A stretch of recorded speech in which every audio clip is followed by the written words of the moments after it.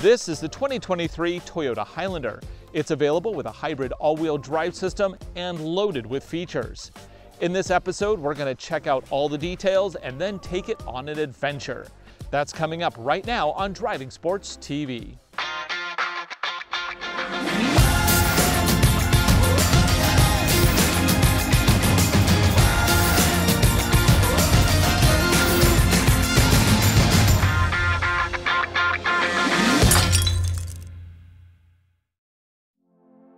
When it comes to three-row family crossovers, one of the best sellers in the United States is the Toyota Highlander, and it's easy to see why. It drives nice, it's loaded with features, and of course, it's a Toyota, so reliability is assumed.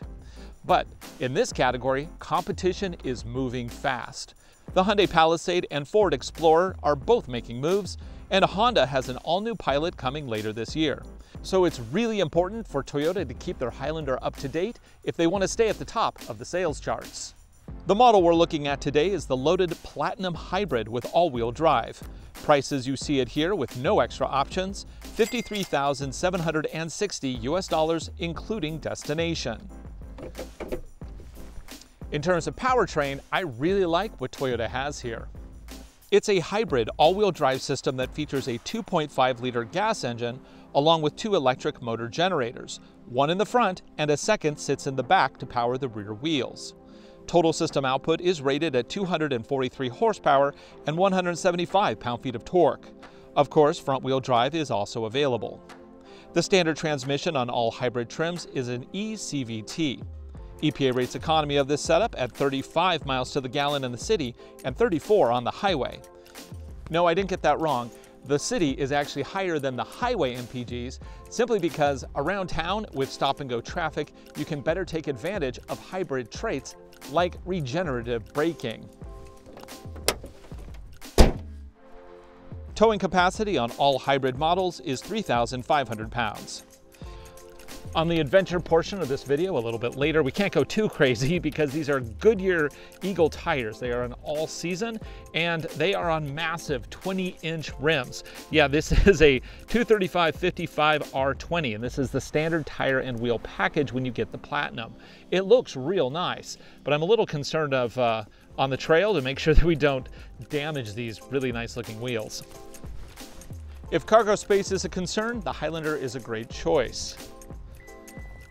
Behind the second row, you get up to 16 cubic feet of cargo capacity. Fold the third row down, and you get 48.4 cubic feet behind the second row. Fold all rows flat, and you get 84.3 cubic feet overall. It's actually a ton of space. And of course, the big question, can you sleep in it? Of course, I don't think I'd be lying if I said that this was bigger than my first uh, apartment in college. Not bad. The downside though is since this has uh, captain's chairs, there's a big gap in the middle, so you would need to cover that with a piece of plywood or something.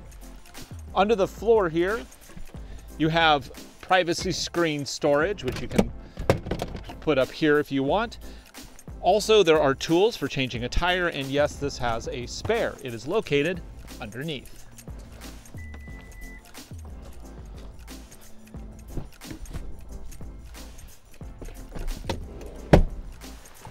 Okay, let's get up. okay, so third row is obviously on the snug side. I can't even fit my head is pivoting on the roof. Um, although I think this will be fine for kids. I can recline slightly. There's a lever right there.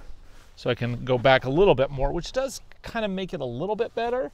But yeah, you're not going to want to put adults back here. Um, nice thing back here though is that we do get two cup holders on each side. But where Hyundai in the Palisade at this price level, you will get USB sockets back here. They're not to be found here in the Highlander.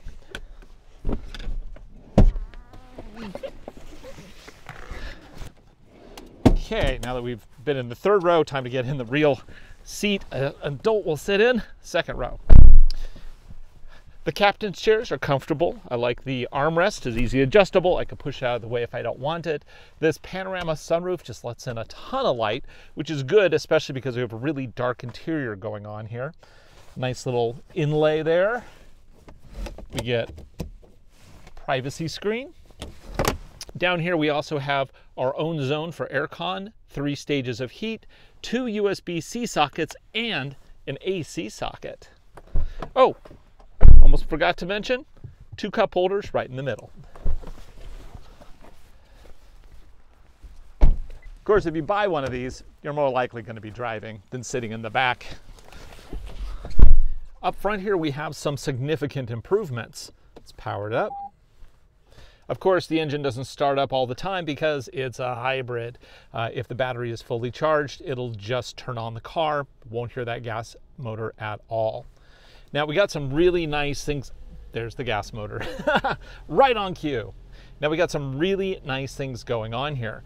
Digital display in the center cluster. This is now standard on the Platinum trims. It is a 12.3 inch digital display. It's gorgeous, nice graphics, beautiful clarity on the display. I can also go through and modify the layout. It's not as intuitive as some other systems, uh, but I can get most of the information that I would be looking for everything from best MPGs uh, to individual tire pressures.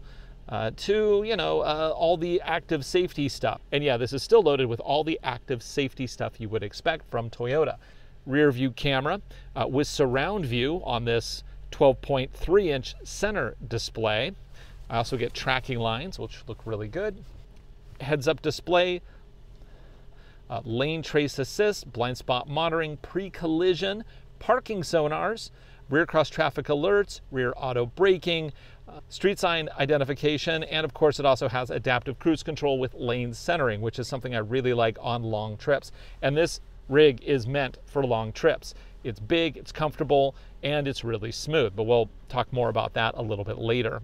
This whole layout, I think, actually looks pretty nice. It's an evolution of the prior design.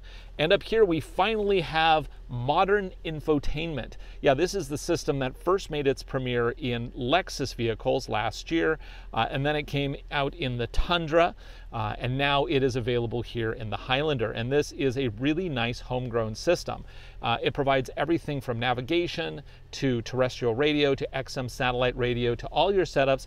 Uh, if you do need a plug-in, there's USB slots down here. Uh, you have USB-A and two USB-C that are power only, plus you also get a 12 volt socket, which is nice.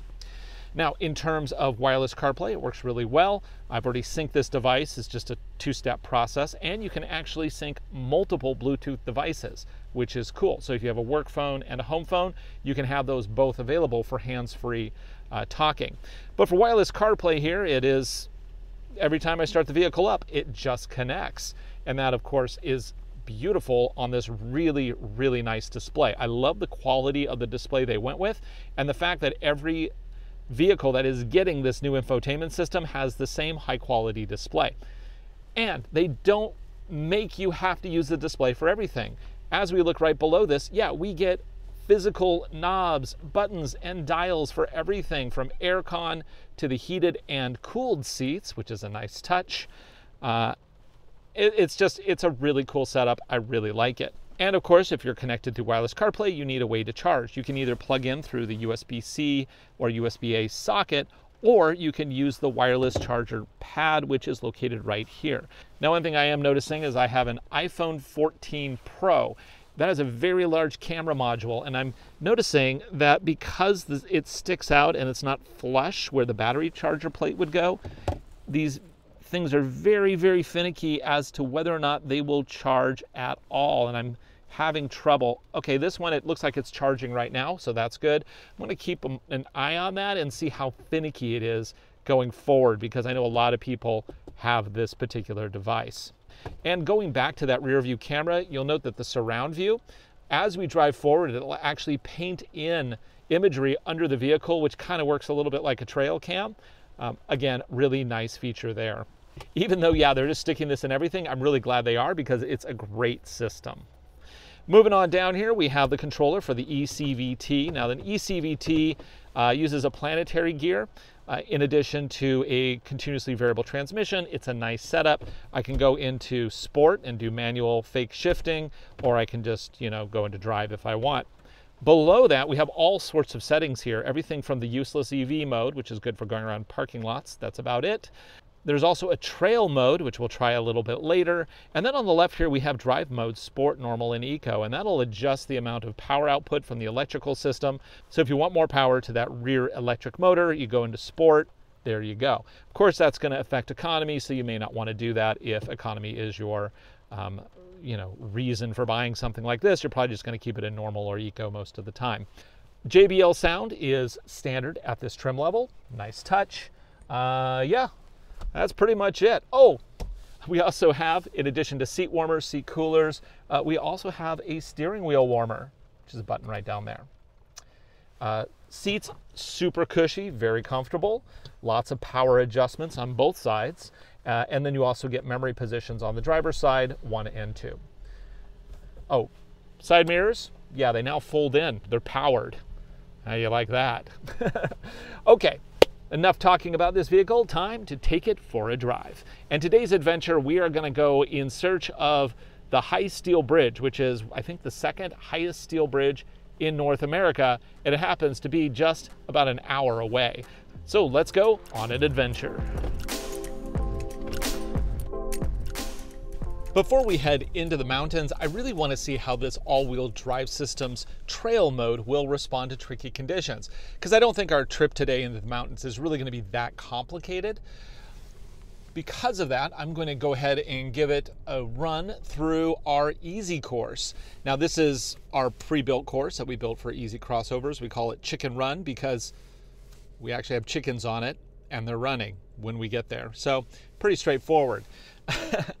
This course is basically designed with undulations, little ditching on one side, um, a little bit of a buildup on the other side to really articulate the vehicle as much as it can, um, and also specifically remove wheels from traction so that we can see how power is shifted around the system. Now this vehicle in particular has a dedicated electric motor in the back. So we're gonna see how soon and how much power comes out of that electric motor. I'm going to go ahead and turn it on to trail mode. When I do that, my gauge cluster gets a little brownish. It's kind of a little brownish and bluish. Now we have a couple things to worry about here. First off, only eight inches of ground clearance, which is not a ton, but it's actually pretty good. Uh, but the more important issue here is actually the overhang. The front overhang is pretty far out there, and I want to make sure that I don't have any issues. Now I love the fact that this comes standard with a trail cam. The surround view functions as a trail cam very nicely. Gotta listen for crunching. Don't want to scoop up some mud with that front nose if I can avoid it. So far, this is all gravity assist, but it does give me a chance to feel the suspension, and it actually does a really good job of soaking up some of these uh, harsher bumps. Now we got the log here. Let's cross the log. Okay, there we go. Now this vehicle is on the large side and we have a, a little bit of a log on the left side. So I'm gonna be putting driver's side wheel on that log and it is very slippery. Even vehicles like the Forester uh, Wilderness from Subaru have issues here because it is a challenge. Make sure I'm not scooping up any mud. Okay, rotate around, I can see the log right there. We're gonna put our wheel on it. It's probably gonna slip a lot. Yep. So I can hear it clicking, and that is the attempt to shift power to the back. Okay. Every vehicle has trouble with this. It's really hard. Uh, basically, we're removing a lot of traction off of a lot of wheels at once. Oh, I gotta hit that trail button again. Man, my kingdom for a um, sorry, I got hit the, the camera again. For a camera that stays on. Come on, can you do it? Can you do it? Ah, doesn't want to push me up and over. Let's get more straightened approach here. Got a little space here, but not a lot. There's a tree right behind over there. Ah, got to turn that view camera on again. Okay, there's that tricky log. So we'll just kind of go. Uh, Getting really close to those branches over there. But we made it over. Okay. That was a that was actually a little bit more complicated than I thought it would be. A lot of the issue is this longer wheelbase uh, versus compact crossovers, but also, you know, it just wasn't giving enough power in the back to, to push us over that log. Um, although the way that turn is configured, it does require that all the power needs to go to one rear wheel to really be effective, and there's just not a lot of vehicles that can do that.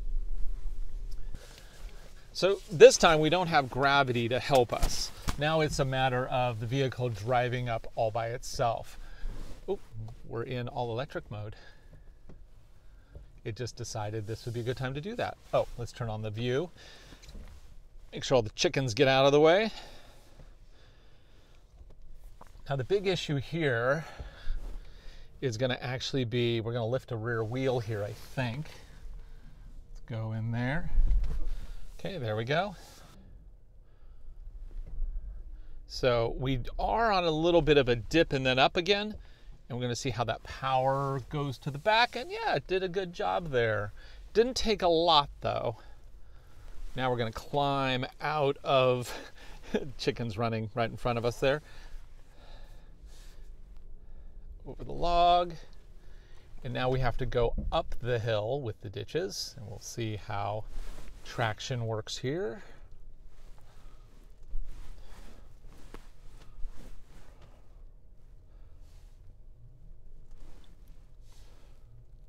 Boy, we're actually in all electric mode right now too, which is kind of neat.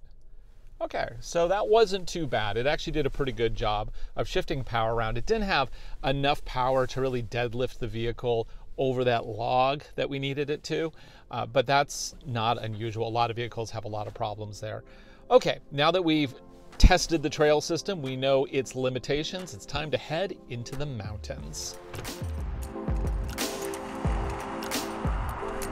It's on the highway here where the Highlander really comes into its own. This is a crossover built for cruising. It is smooth, it is quiet, it has really good tech, it's comfortable, visibility is excellent. I mean, really, there's a lot to like about this vehicle. And of course, it does come with the latest version of Toyota's Safety Sense system, which means that it has adaptive cruise control. And here it also has lane centering. Uh, to do that, I'm going to go ahead and trigger off of Nick in the Ranger. That's our rescue Ranger in front of us. So to use our adaptive cruise control, all I have to do is turn it on, set a target speed, set the gap, and uh, yeah, it'll now track right behind the Ranger, never exceeding its speed. Now I want to show you how well this will actually steer. It is not intended as a hands-free system, but it does track the lanes very nicely. And that is, of course, to cut down on fatigue on long trips. It is not uh, you know, a uh, autonomous system. The only autonomous system as of filming of this video uh, is a new one by Mercedes-Benz. They just got qualified for a level three system. Uh, so far, everything else is basically this level. Yes, even Tesla. Sorry, Tesla fanboys, it's, it's a level two system. So let's talk about what we're doing today. There is a bridge in Washington State, which I believe is the second tallest bridge in North America. I think that's what it is and we just call it the High Steel Bridge. And we're going to go there today. Uh, and the trip out there is just really pleasant. We're going to go through some farming areas, uh, and then we're going to hit some dirt roads, and then we'll find the bridge. We're not going to have any like you know ridiculous hill climbs and i don't think we're going to have anything too challenging which is why we did the off-road course before we left uh, so this is just kind of sit back relax enjoy washington state uh, because we're just going to have a good time today and in the process find out what we like and don't like about this new highlander but so far there's a lot to like here while cruising here i do just have it in normal mode in fact this vehicle it's just even though it has a sport mode, that's not really the vibe that this vehicle is all about. It's about economy, comfort, the ability to throw the whole family in, plus their gear. And that last bit is what's critical. Sure, there's some other vehicles on the market that have a third row, but sometimes, you know, with that third row up, there is zero space for cargo. This one actually has a reasonable amount of room behind that third row. And of course, if you fold down the third row, you get a really nice spacious cargo area, which is great. The weather today has been all over the place, but it's been mostly rain. Uh, so we're going to be encountering some bits of rain, uh, and it has been raining rather heavily. So there might be, you know, some areas of flooding that we got to look out for. But I think I think today's adventure is going to be pretty chill. I think it is currently a high tide right now, and we're on the king tides, which means that it's a very high tide, uh, which might lead to also some additional flooding. But I think we'll be fine today. You might notice that on Apple Maps here we have a waypoint put in, but that routing is also being transferred over to the vehicle. Very often, Apple Maps is just separate from the vehicle, but this one supports the CARTS protocol, which allows me to see individual turn by turn directions in the car's gauge cluster, which is neat. Uh, that also means that I can optionally have them up in my heads up display if I like. It's kind of cool setup and it's pretty smart because they put the turn by turn directions in the main gauge cluster until right before I need to make the turn, and then it throws it up into my heads up display as kind of a hey, pay attention. and then once I've done that, it then puts it back down here, and uh, only my critical need to know now information is up in the heads up display. It's a really nice setup. They've obviously thought this through pretty good. One thing that I did have to do with this vehicle the moment I started driving, though, was turn off the beeps. the beeps. Toyota and beeps, they need to really chill because way too many beeps. I don't usually mind a nav system that beeps when you're hitting options, but combine that with the vehicle's tendency to want to beep for everything, and that's just too many beeps. I had to shut down the nav system's auditory feedback because I just could not deal with it, which is funny because usually that just doesn't bug me. Uh, but yeah, Toyota, please, I beg you, turn down the beeps. If you beep at everything, nobody will pay attention to anything. That's how it works. So, there's my tip to Toyota right there. Up, oh, we have another turn coming up, so the nav has moved from here back up to my heads-up display. That's cool. I will say these seats are very comfortable, but it's like you start to like sink in them over time because they're so soft. Although they are really comfortable. I've been driving this now for about 40 minutes. No hot spots. It's all really good still. And these seat warmers, they're uh, they're pretty toasty. Well, there's certainly signs of flooding today. Um, how do I know? Well, literally, there's a sign right there. It says water over roadway. So this will be interesting. We could have uh, put on our hip waders. you know, one thing that I want to do though before we hit the water is I want to see how well this does a 0 to 60. Let's go ahead and stop here. I'm going to put it in sport mode, put it in drive, and I'm just going to mash the throttle. Let's see what it does. Three, two, one, go.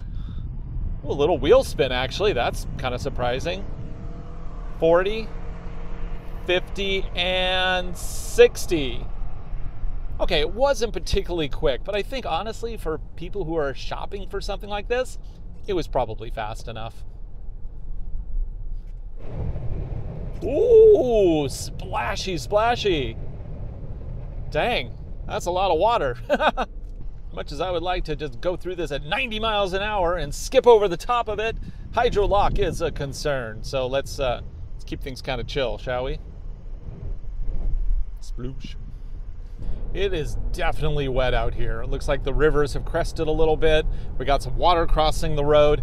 In other words, great day for an adventure. I got a couple markers here actually on the um, cars maps, which is interesting. Ooh, that's splashy. okay, let's try the next one. See how deep this one is. Oh, that one looks more like a river than a wa- Oh my gosh. Okay, this this is deep. I'm I'm going slower here. Oh! Actually, there's a hole in the road right there, so I don't want to go that way. Wow. Surprised this road is still open. Well, onward.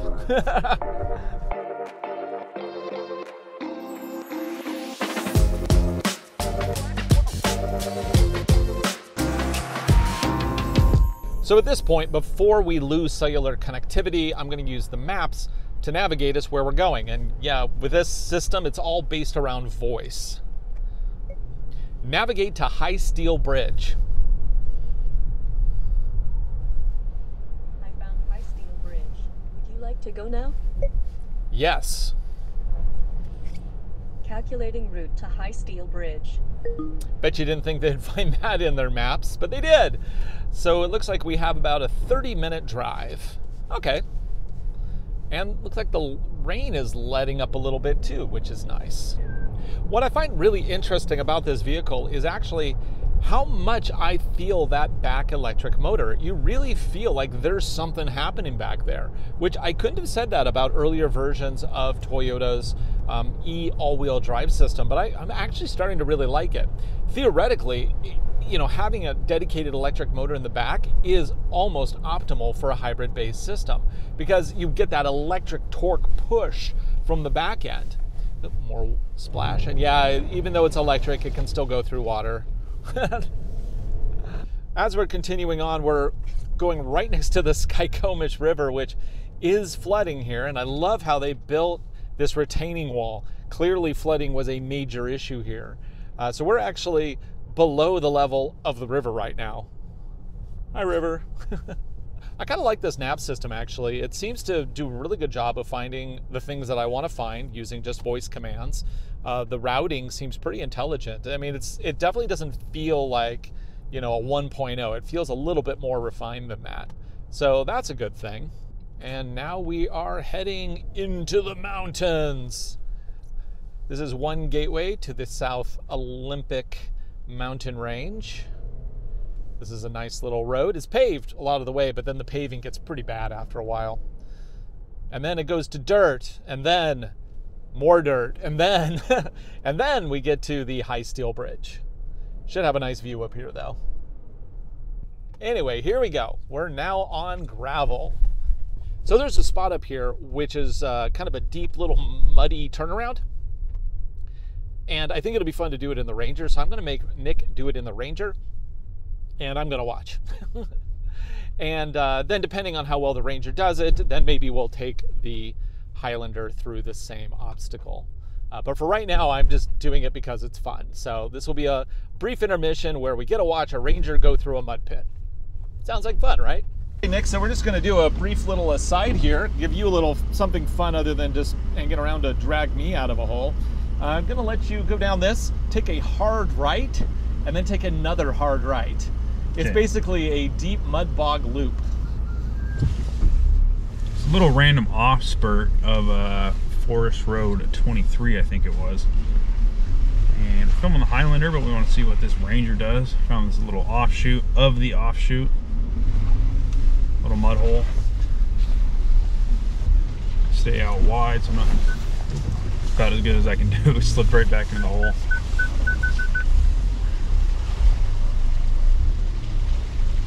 Hey, but watch out for those branches over there. Yeah, I'm trying. It just slips me right back into the ruts. Yeah.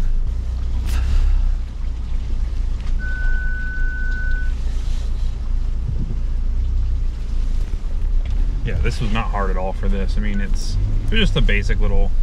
Uh, if you are from the Washington area, you know, like up in these forest roads, there's just kind of like these random offshoots, and they're not usually too hard. So for something like this, the Ranger, it's not too bad. And we're through. No big deal. So what do you think?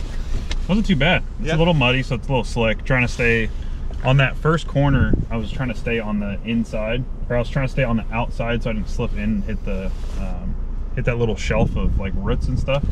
But with how slick it is and how muddy it is, you just slide right back in.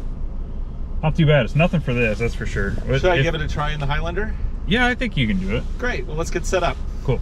Here we go. I'm going to go put the drive mode to normal. I'm also going to turn on trail mode, which, by the way, if you're in sport mode and you hit trail, it'll automatically bump you back to normal anyway.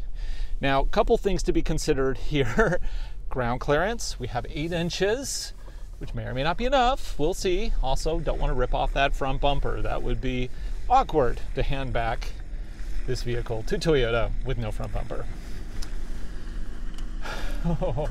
and we got stumps on each side. I got to watch out for those too. Uh, that, those could seriously cause problems. And this has such a long wheelbase, although not longer than the Ranger.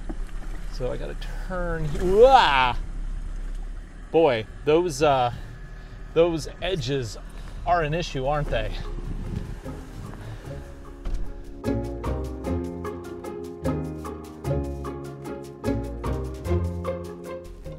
Oh, I'm going to turn on the trail cam so I can kind of see where my line is. This will help me avoid uh, roots and stuff like that while Nick's getting reset in the front there.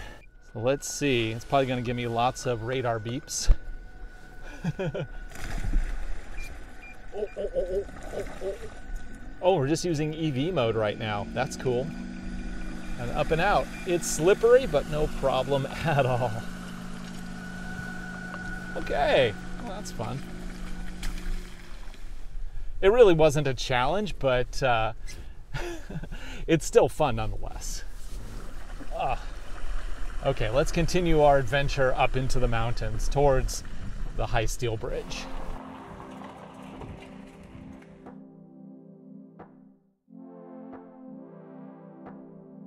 So even with these really big wheels, it actually does a pretty good job on this potholed road.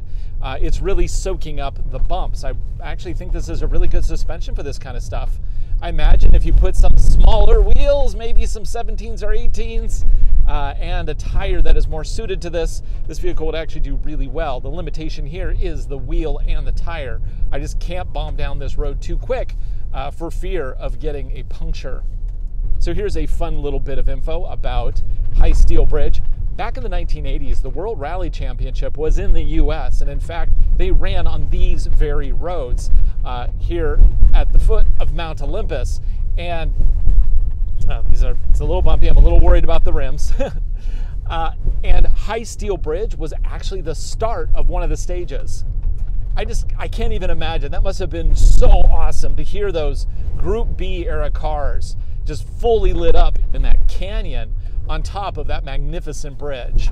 That'd be so cool to see. I wish I could find footage. I've looked online and I can't find any footage of it anywhere. Oh well. So we only got a couple more miles of this to get up to High Steel Bridge. And this, this type of outing is exactly what the vehicle is designed for. The Highlander isn't an extreme off-roader. It's not even designed for like technical trails because it's just physically too big. Uh, it's really designed for cruising, going to some adventurous location, uh, and looking good and being comfortable doing it. And I think to that effect, this is a very, very successful vehicle. And the new version with the brand new updated infotainment, uh, with that great E all-wheel drive system, I mean, it's really just a fantastic vehicle. And here we are, High Steel Bridge, second highest structure or bridge of this kind in the United States. And it's just right here in the middle of nowhere in the Olympic Forest. It's so weird. Now, the funny thing about this bridge is you don't feel like you're very high. You're just rolling, you're rolling. Oh, look, it's a normal bridge. Everything is normal, so normal so normal, and then the earth just falls away. what? We are so high.